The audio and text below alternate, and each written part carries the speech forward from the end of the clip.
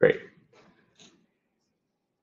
So when you first open Panther, you're greeted with a homepage, and this just guides, uh, provides a guide on how to really get started. So you know, you want to invite your team, you want to set up monitoring for uh, scans, onboarding log sources. Uh, we've done a lot of this already in this account. So let me just show, for example, some resources. So if you click through, we have two main menus on the left. One focuses on cloud security, which is uh, infrastructure health, you know, checking our policies and uh, looking at certain resources that we would want to triage and, and fix first. So this gives sort of a, a rank um, of top line policies and top line resources. Um, clicking through policies, we can search and filter. Uh, so let's look at um, look at security group, for example.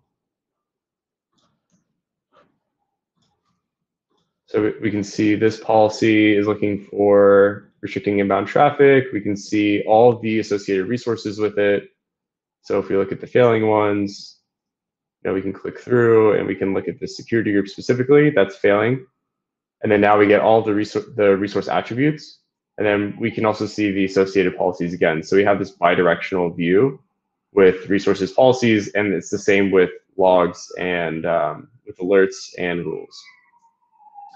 Uh, in sources, we can see our configurations here. We can add new accounts, step through. Uh, we provide CloudFormation templates for connecting all the accounts together. Uh, Panther itself is also fully deployed with CloudFormation.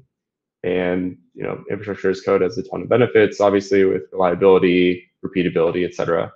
Um, so if we click through uh, with rules, as I showed before, it's the same sort of filters with policies. We can look at, you know, do we have CloudTrail rules loaded up?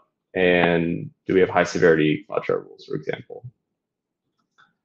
So let me actually take an osquery one as an example. clear this. Great, so here's our actual, our demo, our demo rule, and then we can see there's some generated alerts from that. Uh, let me actually use this one as an example. So um, yeah. So as I said before, you can click through and you can see, okay, so we had a login from outside the corporate environment. Uh, we get all the context from osquery. We can see the user, we can see the time, and then these fields, these P slash uh, or P underscore fields are the common ones that we extract out. And then these are also searchable in Athena as well. Um, the, the other thing that's really great about how we do our alerting is that it merges based off of certain dedupe strings. So in this case, we're looking at uh, the username and the host name, and then we can see all the activity related within that time frame. So in this case, uh, this rule was looking for AWS commands on the command line, and we're grouping it by host and user. So if we look at command under here, columns command, we can see all the different commands that they typed.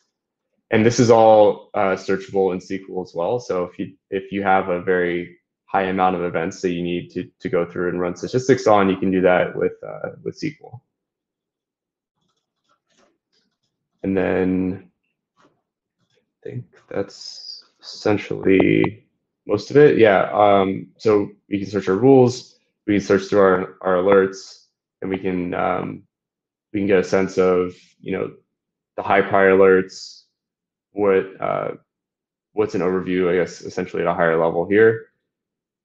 And then we can see our log sources as well. This is using S3 primarily, as I mentioned. So if you want to add add new buckets, we would go through and uh, create IAM roles that Panther can assume to pull the data.